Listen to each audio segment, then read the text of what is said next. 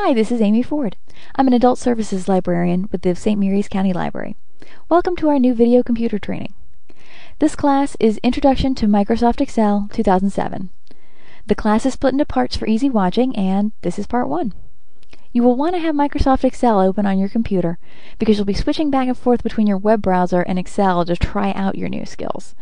If you need to pause the video, just click on the pause button in the bottom left corner of the video screen. There are some tools that are available on this site for the online video technology training. We have a handout that you can print for referring to that contains all the slides in this presentation, so don't worry about writing everything down. There's an Excel 2007 quick reference guide that has lots of tips for using the most common Excel functions.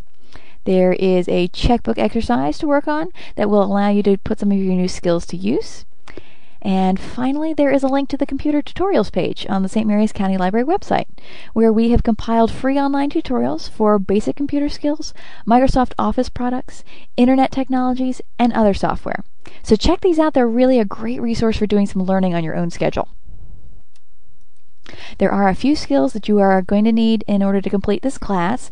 Um, just a basic knowledge of toolbars and a basic knowledge of the file menu, uh, just kind of generally where those are, nothing fancy. You will need to be able to use the mouse um, and know how to open and close files. But that's it, just a few little basics.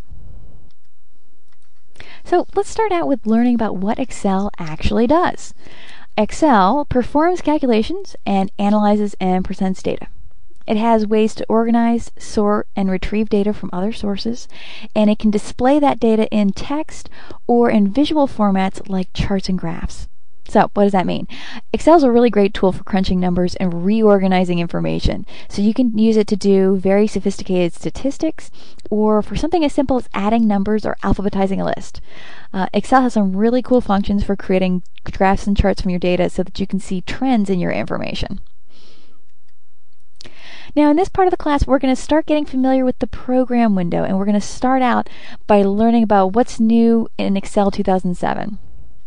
So, some things that are new to Excel 2007. A big one is the new file format. For Excel, the file format has changed from .xls to .xlsx. And in fact, most of the programs in the Office 2007 software package have these new file formats as well.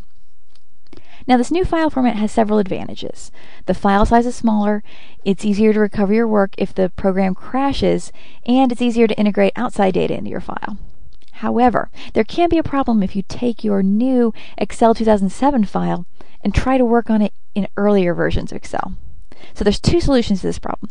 One is to install the Microsoft Office Compatibility Pack for 2007 Office on the computer that has the earlier version of Excel. But an easier way is just to save the Excel 2007 file in the earlier format so that it's compatible with older software versions. However, this will eliminate some of the special features of the Excel 2007 file. So you'll have to consider that when you're making that change. And I'm going to show you how to make that change in a few minutes. The other big change is the ribbon bar and the Office button, and those replace the toolbars and menus that Excel used to have. So it might seem unfamiliar at first, but it's actually quite easy to get used to. So let's take a look at the different parts of the bar. What you can see here is the whole ribbon bar all at once. And let's start with the Office button. You can see it right off here to the left side. Now when you click on the Office button, you can access a lot of the commands that used to be on the File menu in earlier versions. So let's switch over to Excel and take a look at it. So when you click on the Office button, right up top here in the left-hand corner, it's got the little Microsoft logo in the middle. And you click on that, you get a traditional looking file menu and a list of recent documents that you worked on. Okay, so these are recent documents over here. If you want to continue working on one of those documents that you've worked on recently, you can just click on it in the list and the file will open. Or if you don't see the file listed, you can click on Open right here to open another file. If you need an entirely new file, right up top here, you can click on New. Now, of course, the Save option right under Open is very important. If you're not already, get in the habit of saving your files every few minutes. If something happens to the computer, like the power goes out or some other problem, you're only going to use a few minutes worth of work, so it's a really good habit to have to save, you know, just every couple of minutes. Right underneath save is the save as function that I was telling you about. And this is where you can save your Excel 2007 file as an earlier version for working with earlier versions of the program. And just off to the right, under the Save As menu, if you click on Excel 97 to 2003 workbook, uh, you will save your Excel file in the old file format so that it's compatible with earlier versions.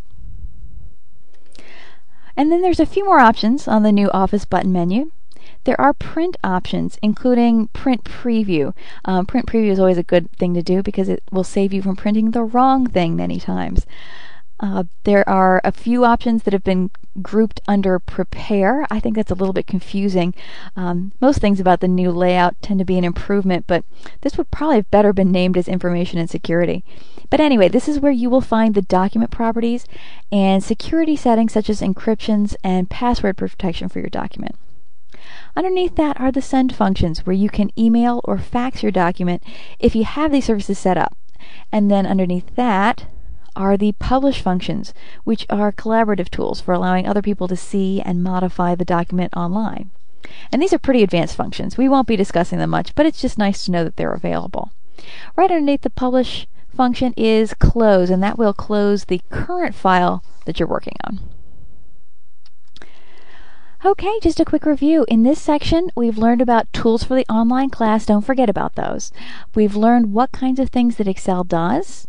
We've learned about things that are new to Excel 2007, such as the ribbon bar and the Office button and the new file format.